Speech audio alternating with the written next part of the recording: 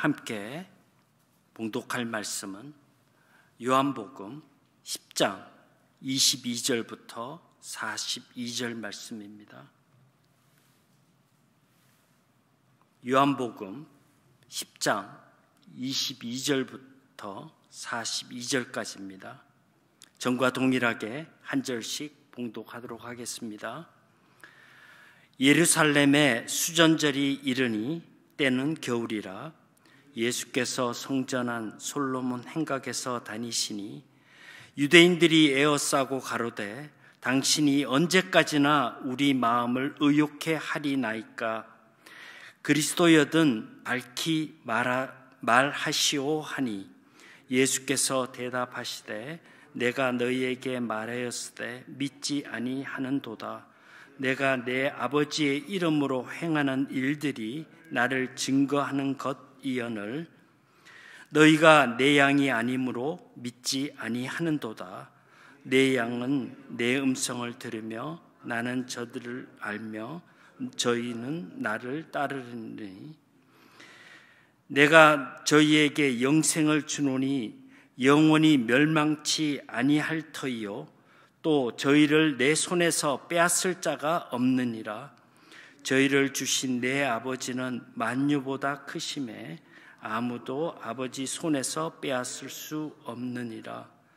나와 아버지는 하나이니라 하신데 유대인들이 다시 돌을 들어 치려 하거늘 예수께서 대답하시되 내가 아버지께로 말미암아 여러 가지 선한 일을 너희에게 보였거늘 그 중에 어떤 일로 나를 돌로 치려 하느냐 유대인들이 대답하되 선한 일을 인하여 우리가 너를 돌로 치려는 것이 아니라 참남함을 인함이니 내가 사람이 되어 자칭 하나님이라 함이로라. 예수께서 가라사대 너희 율법에 기록된 바 내가 너희를 신이라 하였노라 하지 아니하였느냐? 성경은 패하지 못하나니 하나님의 말씀을 받은 사람들을 신이라 하셨거든. 하물며 아버지께서 거룩하게 하사 세상에 보낸 자가 나는 하나님의 아들이라 하는 것으로 너희가 어찌 참남하다 하느냐? 만일 내가 내 아버지의 일을 행치 아니하거든 나를 믿지 말거니와 내가 행하거든 나를 믿지 아니할지라도 그 일은 믿으라 그리하면 너희가 아버지께서 내 안에 계시고 내가 아버지 안에 있음을 깨달아 알리라 하신대 저희가 다시 예수를 잡고자 하였으나 그 손에서 벗어나 나가시니라. 다시 요단강 건너편 요한이 처음으로 세례 주둔 곳에 가서 거기 거하시니 많은 사람이 왔다가 말하되 요한은 아무 표적도 행치 아니하였으나 요한이 이 사람을 가르켜 말한 것은 다 참이라 하더라. 함께요. 그리하여 거기 많은 사람이 예수를 믿으니라. 아멘. 오늘 요한복음 10장 22절부터 42절 말씀을 가지고 영원한 생명, Eternal Life라는 제목으로 함께 말씀을 생각해 보고자 합니다. 남녀노소 누구나 인간이면 오래 살고 싶어 하는 마음을 가지고 있습니다. 부유하든 가난하든 상관없이 장수할 수 있다면 무엇이든 다 하며 노력합니다. 심지어 육신의 질병으로 고통을 받는 순간에도 삶에 대한 간절한 마음이 있습니다. 이것이 생명입니다. 그러나 이 소중한 생명을 야고보서 4장 14절에는 잠시 보이다가 없어지는 안개와 같은 생명이라고 설명합니다. 왜냐하면 일시적이고 유한한 생명이 아닌 영원한 생명이 있기 때문입니다. 저는 본문 10장 22절부터 42절에서 영생이란 주제로 말씀을 나누고자 합니다. 영생이란 단어는 요한복음에서 30여 차례나 언급되는 중심 주제이기도 하지만 요한의 주 관심은 그리스도인들이 예수 그리스도의 온전한 신성을 인정하고 그분을 믿음으로 영생을 얻게 된다는 확신을 갖게 하는 것이기 때문입니다. 또한 공예배에서 신앙 고백으로 사용되는 사도 신경의 마지막 부분에도 영원히 사는 것이 그리스도인의 삶의 중요한 목적이라고도 합니다.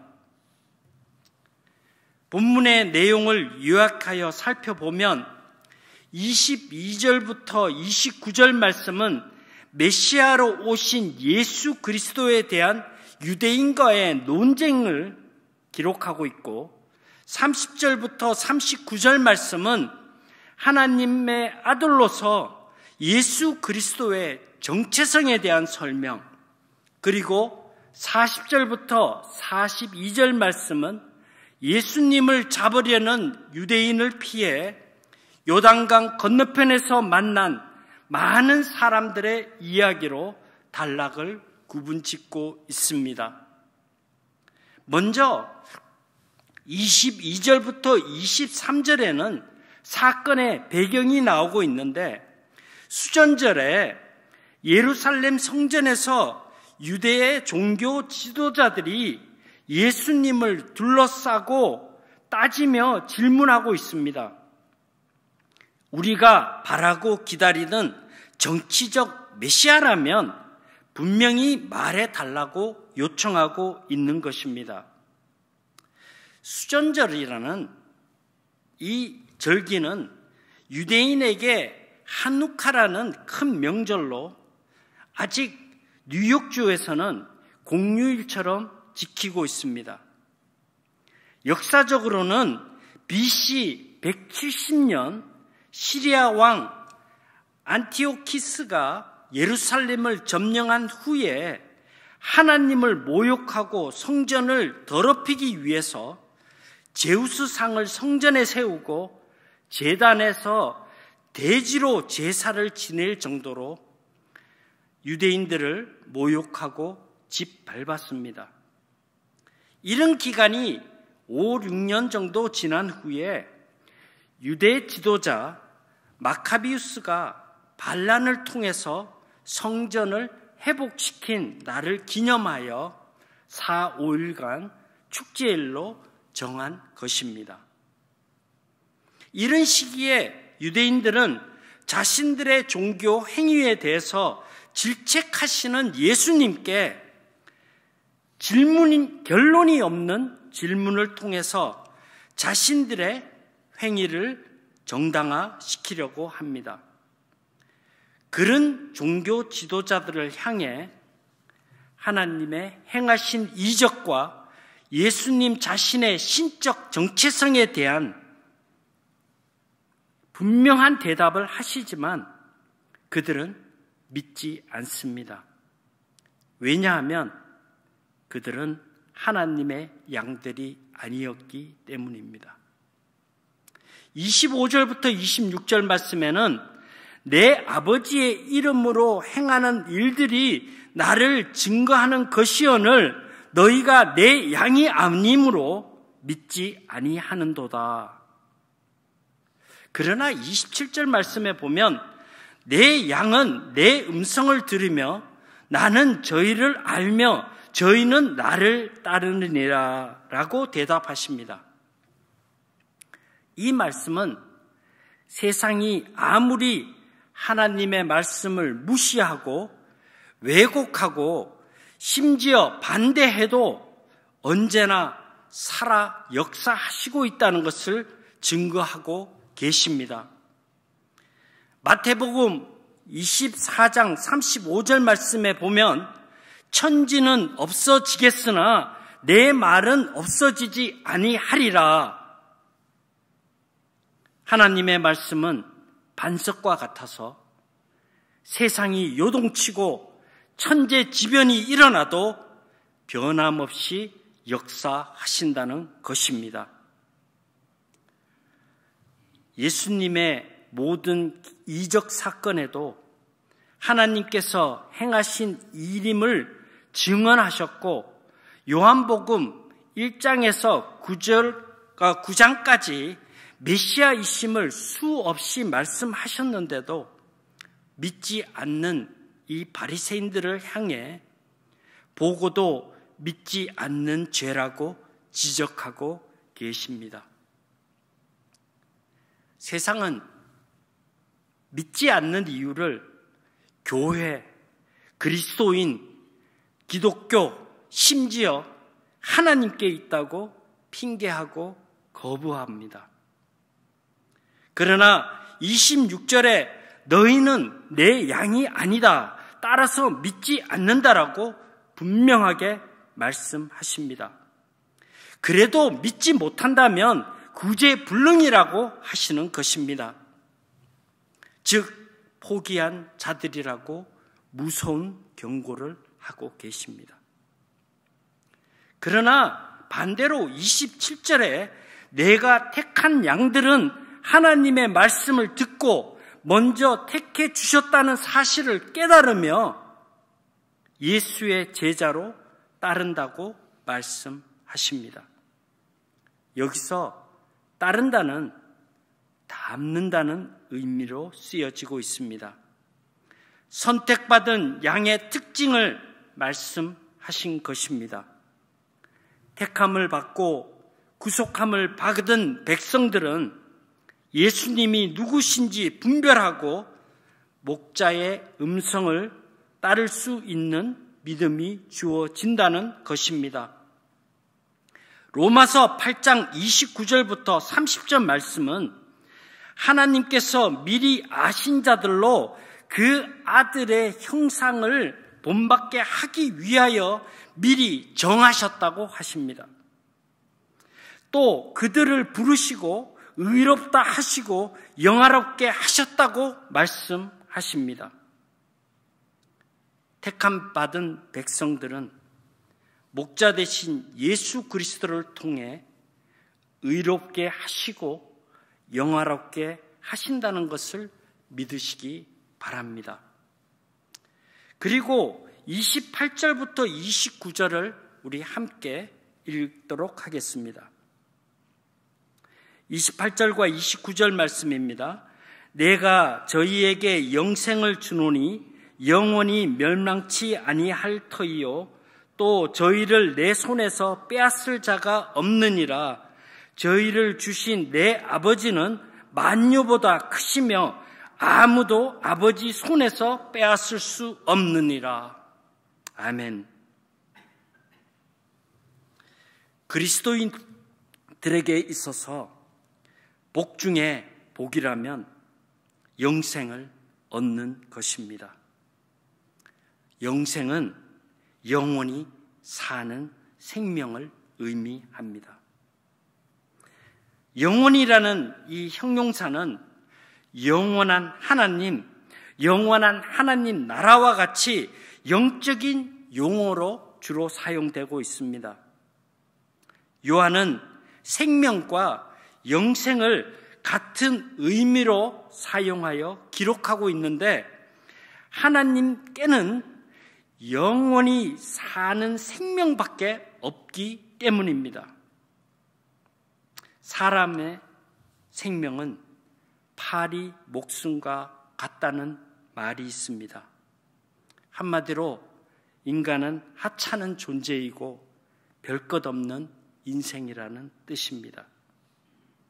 이런 인생이 예수 그리스도를 믿으면 영생을 얻는다고 말씀하십니다. 이 얼마나 놀랍고 큰 은혜입니까? 21세기는 의학 기술이 발달되어서 신체의 모든 기관을 교체할 수 있는 시대라고 합니다. 어느 부분이 고장나면 바꾸고 생명을 연장할 수 있습니다.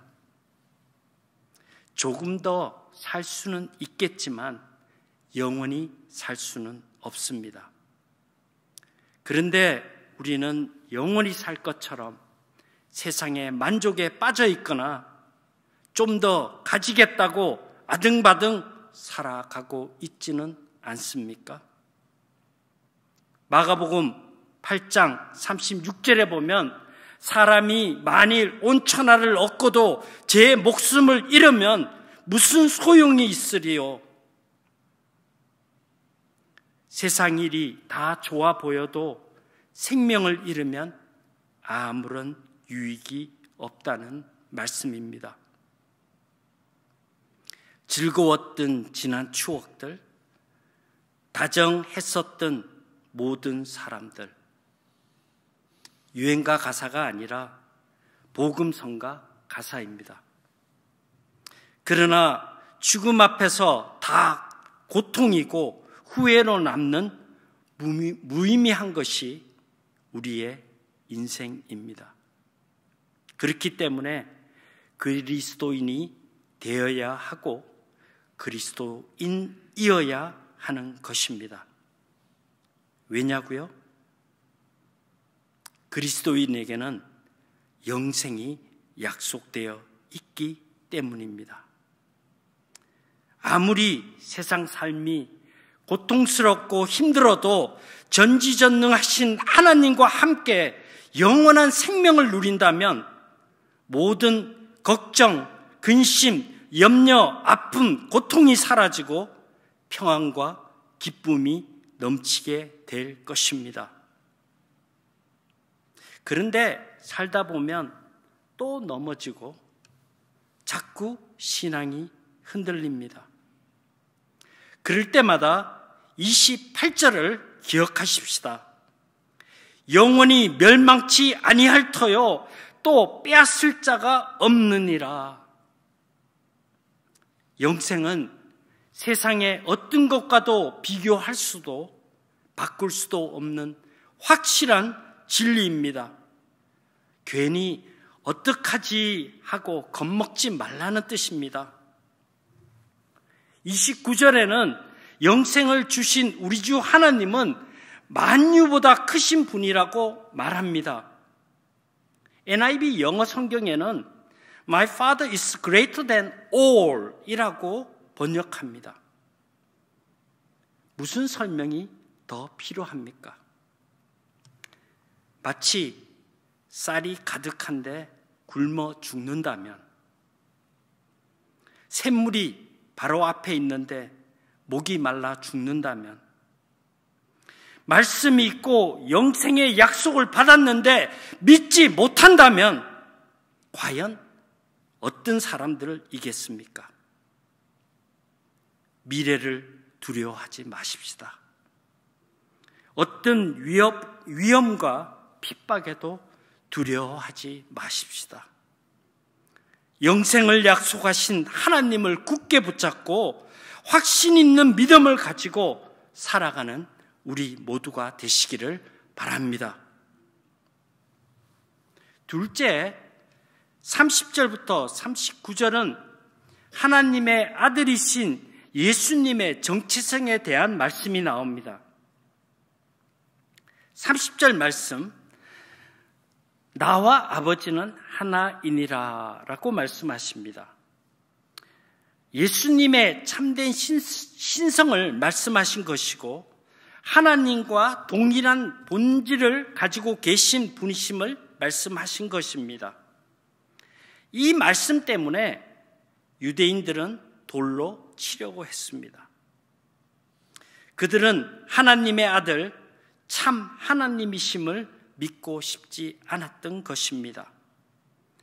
34절에 나오는 신이라는 단어가 있는데 이 단어는 하나님의 시키심을 받아 대행하는 자라는 의미를 가지고 있습니다.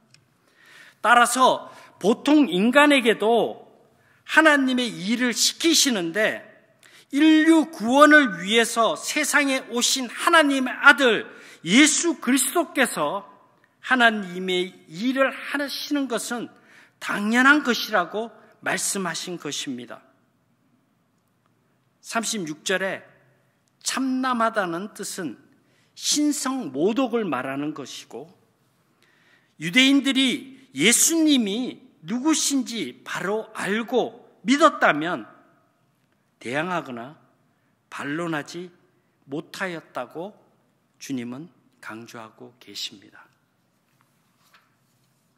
셋째, 40절부터 42절 말씀은 유대 종교 지도자들을 피해 요단강 건너편 바타니아로 오신 주님께 많은 사람들이 모여들어서 예수님의 말씀을 듣게 됩니다. 그리고 41절과 42절에 모인 사람들의 반응이 기록되어 있습니다. 요한은 아무 표적도 행치 아니하였으나 요한이 이 사람을 가리켜 말한 것은 다 참이라고 합니다. 세례 요한은 기적을 행하지는 않았지만 그가 전한 예수님에 대한 말씀은 다 진리였다고 고백하고 있습니다.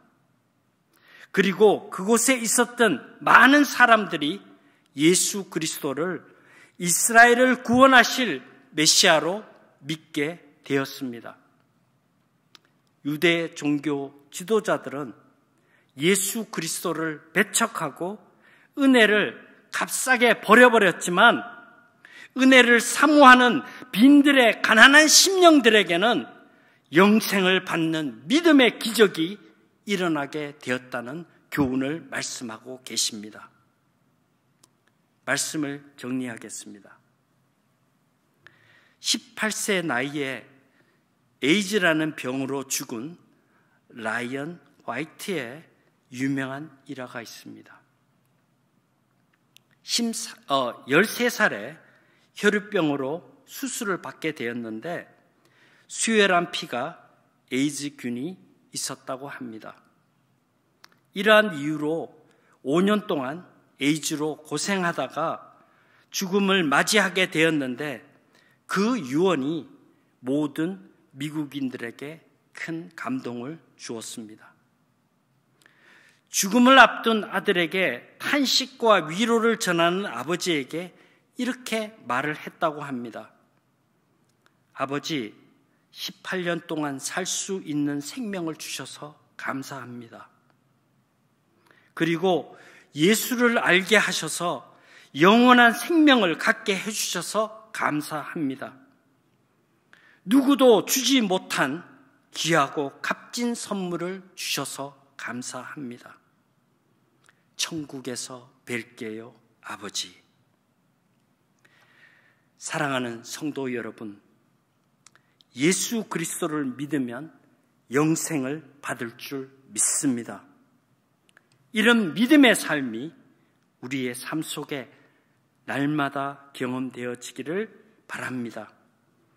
아직 믿음의 기적을 듣거나 경험하지 못한 세상 사람들에게 이 복된 말씀을 전하는 주님의 자녀들이 모두 되시기를 주님의 이름으로 축원합니다. 기도하겠습니다. 독생자 예수 그리스도를 이 땅에 보내셔서 우리를 하나님의 자녀로 회복시켜 주시고 하나님의 은혜 가운데 살게 하신 하나님 아버지. 우리들이 십자가의 능력을 힘입어 믿게 하시고 깨닫게 하셔서 영원한 생명을 선물로 받게 하시니 감사를 드립니다. 우리의 삶 속에 부여하신 이 귀한 하나님의 사랑을 우리만 누릴 것이 아니라 세상에 널리 전하는 산명을 잘 감당하게 하시며 하나님께 영광 돌리는 일에 우리를 사용하여 주옵소서 오늘도 살아 역사하셔서 하나님 안에서 영원한 생명을 소망하며 살도록 은혜 주시는 우리 주 예수 그리스도의 이름으로 간절히 기도 드리옵나이다. 아멘.